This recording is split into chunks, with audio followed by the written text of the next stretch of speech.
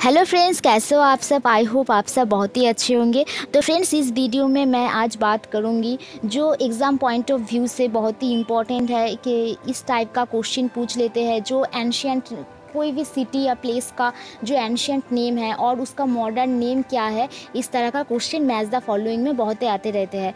इस तरह का क्वेश्चन इस वीडियो में डिस्कस करूँगी और इसके अलावा तो तीन चार क्वेश्चन हैं। तो चलो फ्रेंड्स देख लेते हैं, आज का जो first mod old name and modern names है सिटी का, वो देख लेते हैं। तो फ्रेंड्स देखो ये modern names and old names है तो देख लेते हैं। तो फ्रेंड्स ये देखो बुलंदशहर, जिसका प्राचीन नाम था बारन कुल्लू, कराचिल। और फ्रेंड्स ये बहुत ही इंपॉर्टेंट है। आप चाहे इसको नोट डाउन या स्क्रीनशॉट भी ले सकते हो क्योंकि ये मैच द फॉलोइंग में आते रहते हैं। भटिंदा तावर हिंद, अनहिलवाड़ा, पाटन चरसद्दा जो पेशवार में है, पुष्कलावती, कपीसा, बेग्राम, अफ़गानिस्तान में है जो। हेलीबीट द्वार समुद्र, मैसूर, गंगावाड़ी, बादामी, आईहोल, अमरावती, जिसका प्राचीन नाम था धरणीकोट या धन्य कटक ठीक है फ्रेंड्स ये दो नाम है मतलब धन्य कटक या धरणीकोट। ठीक है? मंदसौर, दासापुरा। ठीक है फ्रेंड्स तो ये ये ग्यारह ही था। ठीक है फ्रेंड्स आप इसको अच्छी तरह से देख लो और इसको नोट डाउन भी कर लेना क्योंकि इस टाइप का क्वेश्चन मैच द फॉलोइंग में आते रहते हैं। तो चलो फ्रेंड्स देख लेते हैं आज का जो क्वेश्चन है वो। तो फ्रेंड्स देखो इस क्वेश्चन में बताना है। जो ड्रामा है ट्रिब्यू कुंतलेश्वर दैत्य, वो एट्रीब्यूट किया गया है कालिदास को। तो ये किसने किया था? किसके द्वारा ये कुंतलेश्वर दैत्य है, ये किसने कंपोज किया था? तो चलो फ्रेंड्स ऑप्शन देख लेते हैं।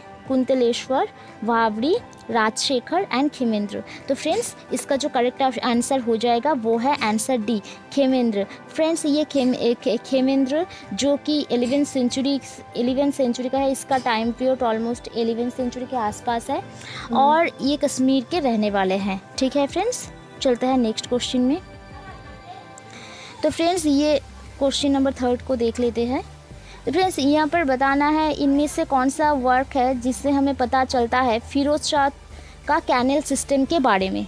ठीक है फ्रेंड्स जो फिरोज शाह का टाइम पे जो कैनल सिस्टम था, वो कैनल सिस्टम के बारे में कौन सी सोर्स से हमें पता चलता है? तो ऑप्शन देख लेते हैं।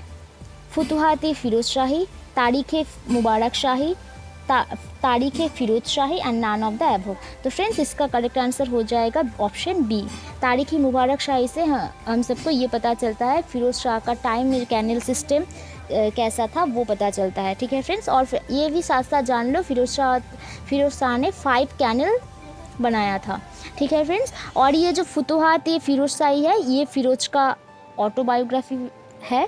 और फ्रेंड्स ये आप ये भी साथ साथ जान लो, ये मुग़ल, ये दिल्ली सल्तनत में फिरोज शाह तुगलक ने खुद ऑटोबायोग्राफी लिखी थी। ठीक है फ्रेंड्स और मुग़ल काल में बाबर एंड जहांगीर, ये दोनों थे, दोनों मुग़ल सम्राट थे जिन्होंने आत्मजीवनी लिखी थी ऑटोबायोग्राफी लिखा था।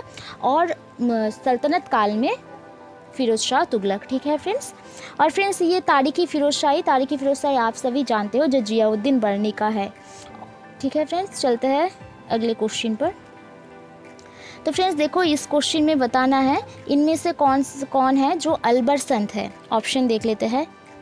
अपर कुल से खड़ा समंदर एंड बेन कंठनाथ।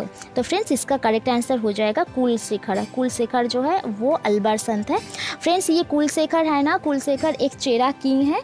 और और फ्रेंड्स, एक कुलशेखर ने ना दो बुक लिखी थी, वो भी आप अच्छी तरह से देख लो।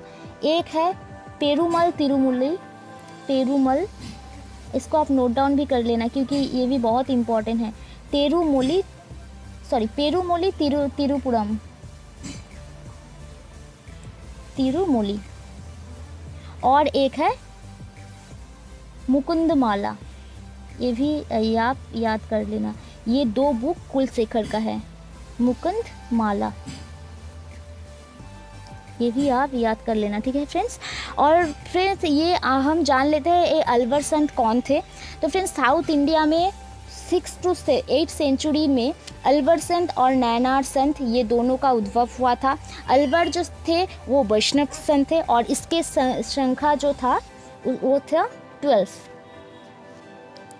ठीक है फ्रेंड्स और जो नैनार सन थे नैनार साहिब थे और उसका स, वो स, उसका जो संख्या था वो था सिक्सटी थ्री ठीक है फ्रेंड्स आप इसमें से डायरेक्ट क्वेश्चन यही बनते हैं जो अलवार सन था उसका संख्या कितना था और जो नैनार सन, सन थे उसका संख्या कितना था? तो फ्रेंड्स जो अलवार थे वो उसका संख्या हो गया ट्वेल्व एंड जो नैनार थे उसका संख्या हो गया सिक्सटी और अलवार जो थे वो वैष्णव सन थे और नैनार जो थे वो सेफ़ थे, ठीक है फ्रेंड्स तो ये ना, ये डिफरेंस भी आप अच्छी तरह से याद कर लेना। ये बहुत सारा स्टेट लेवल एग्ज़ाम या फिर बहुत सारा कॉम्पिटिटिव एग्ज़ाम में भी आते हैं। तो ठीक है फ्रेंड्स ये क्लियर हो गया। चलते हैं अगले क्वेश्चन पर। तो फ्रेंड्स देखो, ये इस क्वेश्चन में बताना है, जो 1904 में Bengal united as power Bengal divided will pull in several different way जो ये किसने कहा था? जो बेंगल एक साथ एक साथ है तो एक एक बहुत ही पावरफुल मतलब पावरफुल शक्ति है और जो डिवाइड कर दिया गया बंगाल को डिवाइड कर दिया गया तो इसका पावर भी थोड़ा रिड्यूस हो जाएगा in pull in different several different ways में। तो फ्रेंड्स ये कथन जो है, ये 1904 में ये कथन किसने कहा था बंगाल डिवाइड के बारे में? तो फ्रेंड्स चलो ऑप्शन देख लेते हैं। Lord Curzon Herbert Risley Lord Minto and land land lord here तो फ्रेंड्स इस, इसका जो करेक्ट आंसर हो जाएगा, वो है आंसर बी हर्बर्ट रिसले तो 1904 में ये बंगाल डिवाइड के बारे में ये कथन बोला था हर्बर्ट रिसले ने। ठीक है फ्रेंड्स और दैट टाइम भारत का वाइसरॉय जो था, वो था लॉर्ड कार्जन आप ये भी याद कर लेना। ठीक है फ्रेंड्स तो देख लेते हैं आज का जो लास्ट क्वेश्चन है उसमें। तो फ्रेंड्स ये भी बुक्स एंड राइटर का नाम कुछ दिया है। तो फ्रेंड्स ये बुक और राइटर के ऊपर मैंने फोर वीडियो बनाए हैं। तो जिन्होंने भी उन वीडियो को नहीं देखा है, बहुत ही इंपॉर्टेंट है एग्ज़ाम पॉइंट ऑफ़ व्यू से, जहाँ से हर बारी क्वेश्चन आते हैं तो जिन्होंने भी उस वीडियो को नहीं देखा है, नीचे डिस्क्रिप्शन में लिंक है, वो वीडियो ज़रूर देख लेना। तो फ्रेंड्स इस, ये, इस क्वेश्चन में ना मैं जो बुक का नाम है एंड जो राइटर है, उसका नाम एक सेम जगह में ही दे दिया है। इसको मैच करने में था, लेकिन मैंने इसको मिला के मिला के दिया है। तो सिर्फ़ आप देख लो इसको। द सोसाइटी ऑफ़ जेसस इस सोसाइटी ऑफ़ जेसस लिखा था। एग एग्नेटियस ऑफ़ लोयोला ने। The civilisation of the Renaissance in Italy जो जैकोफ बरखा दर्द का है। ऑप्शन सी देखो। Institute of the Christian religion जो जॉन कैल्विन का है। Option D critique of pure reason जो इमानुअल कंत का है। तो फ्रेंड्स ये इतना चारों बुक ही बहुत इंपॉर्टेंट है, क्योंकि ये तो मैच द फॉलोइंग में हर बार ही रहते हैं बुक तो ठीक है फ्रेंड्स तो तो फ्रेंड्स, आज के लिए इतना ही था। और फ्रेंड्स, इस इस वीडियो से ये एंशंट नेम और ओल्ड मॉडर्न नेम्स ये बहुत अच्छी तरह से देख लेना, क्योंकि ये बहुत ही इंपॉर्टेंट है। ये हर बारी आता है। तो फ्रेंड्स, आज के लिए इतना ही था। मिलते हैं अगले वीडियो पर। इस वीडियो को अच्छा लगे तो लाइक शेयर एंड सब्सक्राइब ज़रूर कर लेना। Thank you so much for watching this video